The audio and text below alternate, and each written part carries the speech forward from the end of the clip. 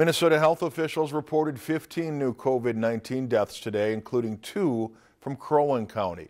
One of the deaths in Crow Wing County was a person between the ages of 80 and 84, and the other person 100 years of age or older. 11 of the 15 deaths today were people from long-term care facilities. There were also 389 new coronavirus cases reported. The new cases came from 7,903 tests for a case positivity rate of 4.9 percent. There are currently 257 people hospitalized. That's six fewer than yesterday. 138 of those hospitalized are in ICU. That's one more than yesterday.